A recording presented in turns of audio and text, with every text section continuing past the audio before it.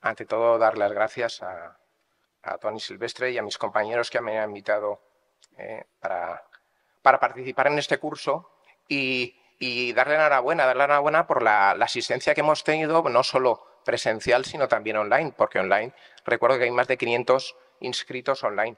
A mí, yo tengo que hablar de las fracturas perimplante y, tengo, y, se me han planteado unas cuestiones.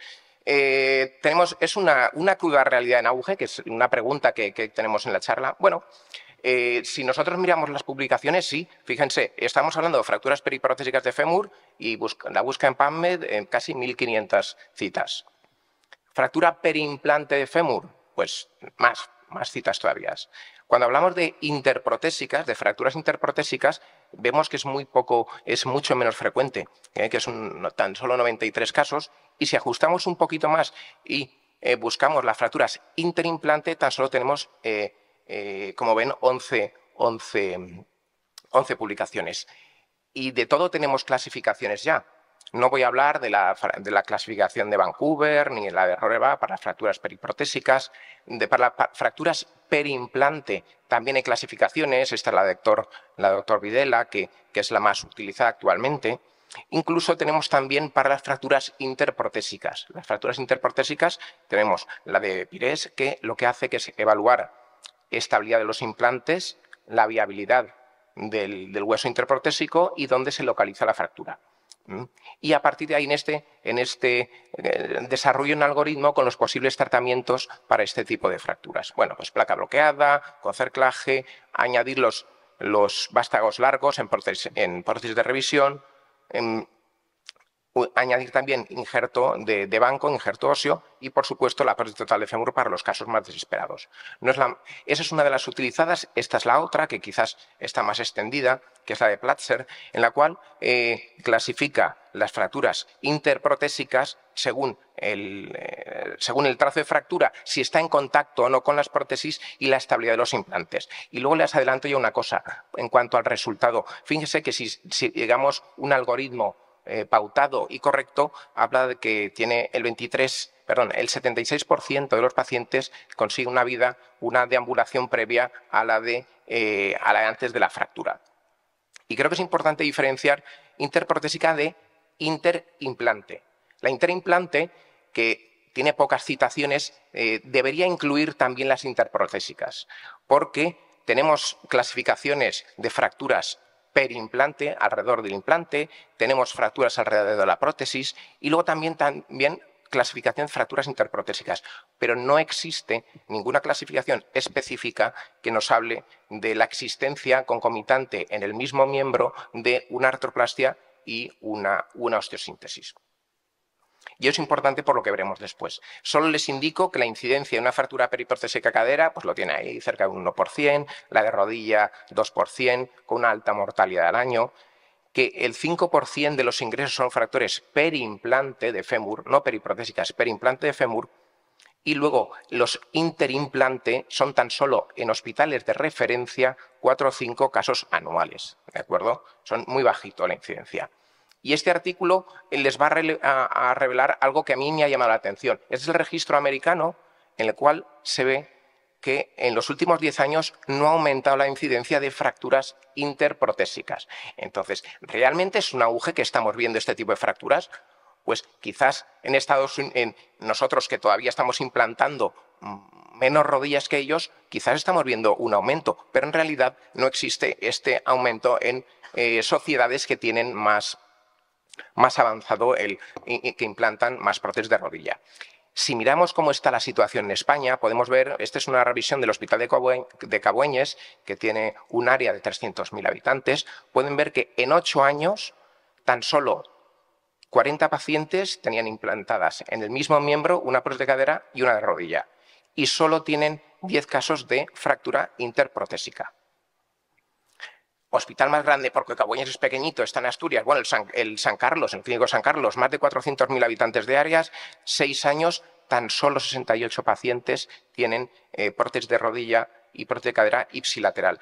Y fíjense que seis fracturas solo interimplante. Ya no estoy hablando de interprotésicas, interimplante. Todas ellas con prótesis de cadera cementadas. Perdón, no cementadas, en las no cementadas. ¿Y por qué es importante que tengamos que conocer este tipo de fracturas de preimplante? Bueno, esto es, esto es lo que ha ocurrido en el departamento del clínico eh, desde el 2005 a 2023, un aumento de un 60% en la incidencia de fracturas de cadera. Esto, eh, aunado a que sabemos que cuando implantamos una prótesis de rodilla existe un 50% más de, de incidencia de fracturas de cadera, nos tiene que hacer llegar ver que eh, tenemos que hablar de fracturas perimplante y no interprotésicas, porque esto es lo que vamos a ver en el futuro. En el futuro, el número de fracturas interprotésicas no va a aumentar, pero sí aquellas en las cuales vemos un implante a nivel proximal y una prótesis a nivel distal.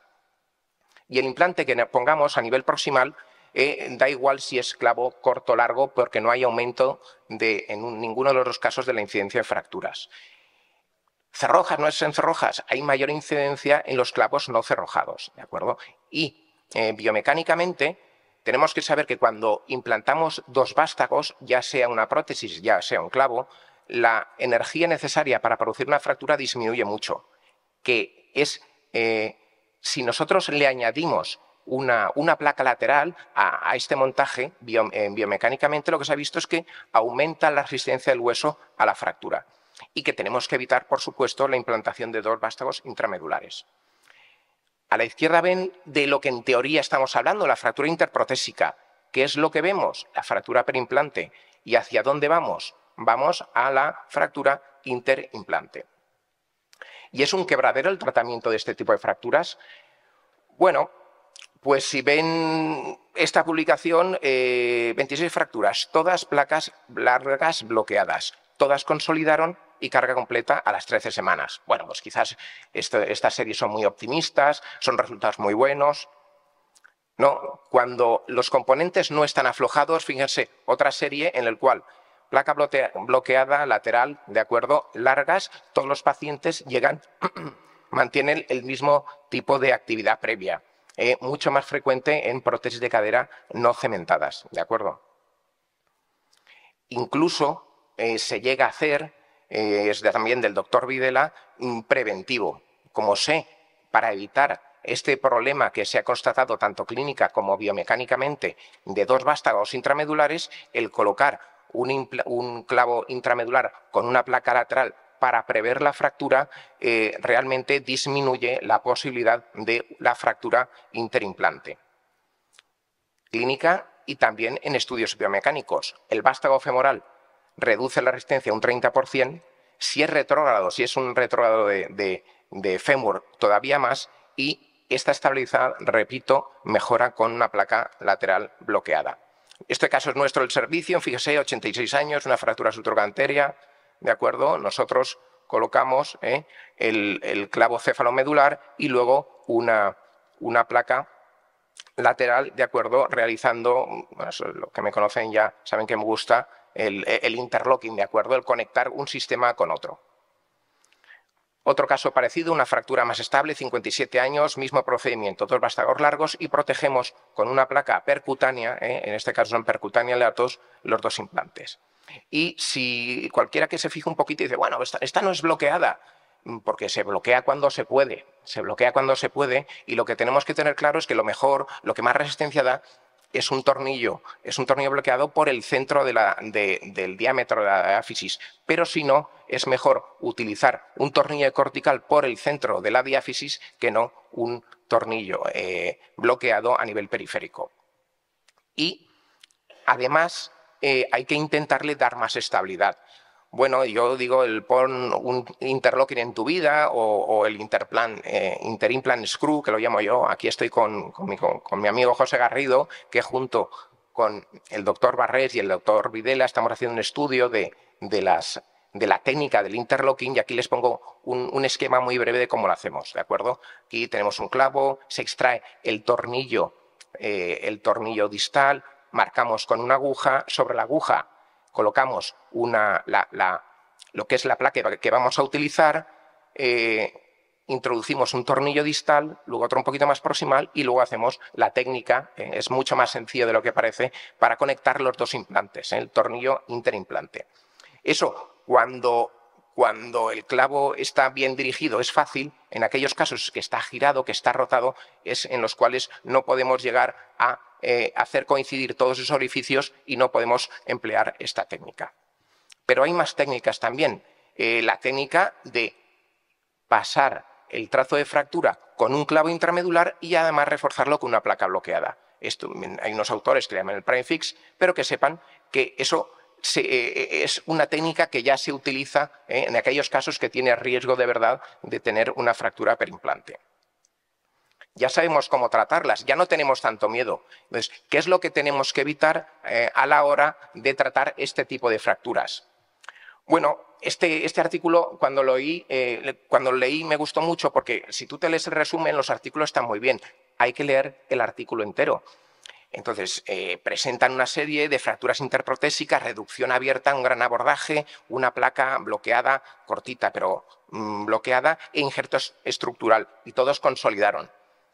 Si te lees el artículo, todos muertos antes del año y medio, y solo tres llegan a la misma actividad que la previa. ¿De acuerdo? Entonces, este tipo de, de sistemas no son los adecuados para tratar este tipo de fracturas.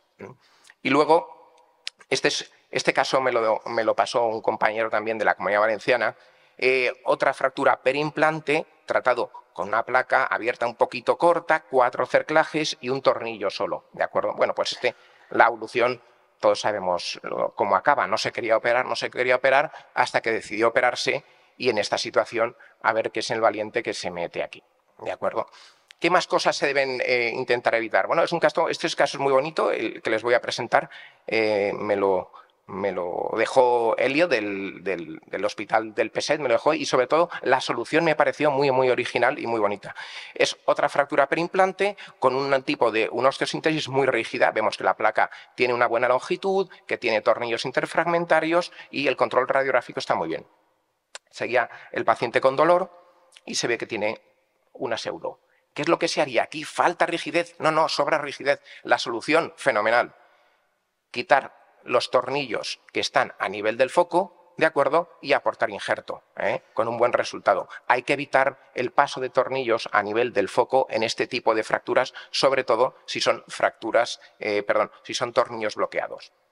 ¿En qué me fijo yo cuando tengo que tratar este tipo de fracturas? Bueno, me fijo en la longitud del fragmento desde la zona distal del clavo hasta la, zona eh, más superior al trazo de fractura, porque en esa zona es la donde yo tengo que trabajar para poder introducir tornillos para reducir la fractura, que luego ya si quiero puedo ponerlos bloqueados. Y otra cosa que me fijo siempre a la hora de tratarlo es ver si existe la posibilidad de hacer un interimplant screw o conectar las dos. ¿Qué me llevaría para casa? La paella, el río, y bueno, pero aparte de eso, eh, me llevaría que, que realmente no está aumentando este tipo de fracturas, las interprotésicas, sí las que tienen entre un implante y, una prótesis, que es mucho más frecuente eh, cuando son prótesis de cadera no cementadas. Eh. Saben que cuando se cogen los registros se nos insiste en utilizar cada vez más prótesis cementadas y esto es un argumento más para utilizarlas que el tratamiento de este tipo de fracturas, el recomendado, el que se debe hacer es intentar una placa eh, bloqueada larga a poder ser lo, mínima, lo menor invasivo posible y con tornillos porque los cerclajes hacen falta seis cerclajes para dar la estabilidad de tan solo un tornillo. Y luego que en aquellos casos en que tengamos dos vástagos femorales, ya sea prótesis, ya sea clavo, lo recomendable es prevenir este tipo de fracturas añadiendo una placa a este tipo de sistemas. Muchas gracias.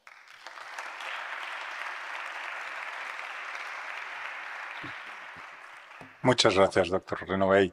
¿Alguna pregunta? Enhorabuena, Pablo, por la charla. Has comentado con el acierto que mejor tornillos que cerclaje, está muy bien. Pero en aquellos sitios donde no puedes pasar un tornillo bicortical, ¿qué es mejor? ¿Tornillo bicortical? ¿Cerclaje? ¿Cerclaje de almáis metálico? ¿Cerclaje con supercable elástico? Lo primero es intentarlo. Si no ves que no. sí, sí, sí, pero, pero, pero los lo unicorticales están también puesto un poco... Sí, pero el, el bicorticales, yo, yo, cada vez más lo intento más, no hace falta que sean bloqueados y muchas veces te sorprende los tornillos corticales que realmente llegas a fijar. Y si, y si puedes con los tornillos corticales, está mucha más fijación que, que, los, los cerrojos, eh, perdón, que los cerclajes. Las placas muy largas, muy largas, y arriba pues seguramente puede que necesites un cerclaje. Pero si puedes un tornillo, aunque sea de cortical, hay que intentarlo. Y a nivel distal de, la fractura, perdón, del clavo, intentar reducir con un tornillo cortical y luego si puedes cambiarlo a uno bloqueado. No sé si he respondido. bueno, si he respondido, yo voy a insistir en aquellas zonas donde no puedes, eh, lo intentas, tampoco vas a tener mil agujeros alrededor del implante. Cuando ves que no vas a pasar, si te quedas con un tornillo de una sola cortica, que dice que sujeta bien poco, ya sea bloqueado o sin bloquear. Tampoco en, un tornillo unicortical no hay mucha diferencia. O si un cerclaje o una serie de cerclajes bien puestos, pues supondría. Mm, con el cerclaje solo yo prefiero subir, y por ejemplo las, las, placas NBC sí que te lo permiten, subes, son larguísimas, subes arriba y vas cogiendo y tiene que cogerte alguna cortical. Luego si puedes complementas eh, con cerclajes sí, pero intentar no abordar el foco y placas largas no, larguísimas. Gracias.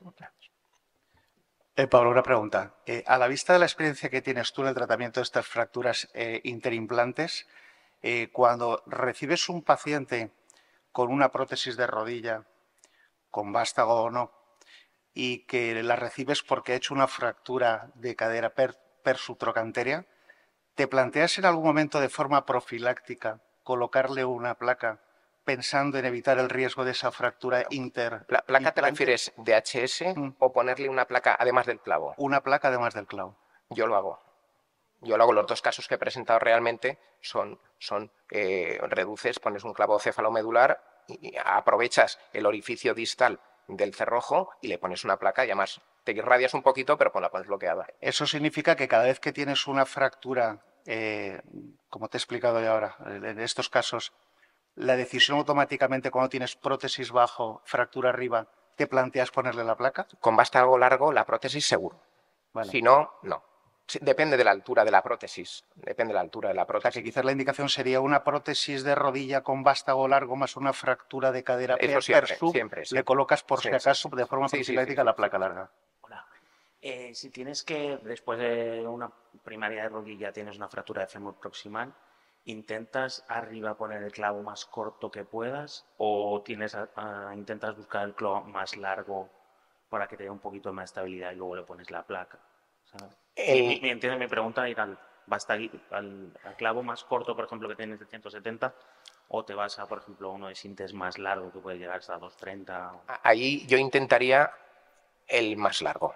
Y si tengo alguna duda lo complemento con, la, con, con una placa.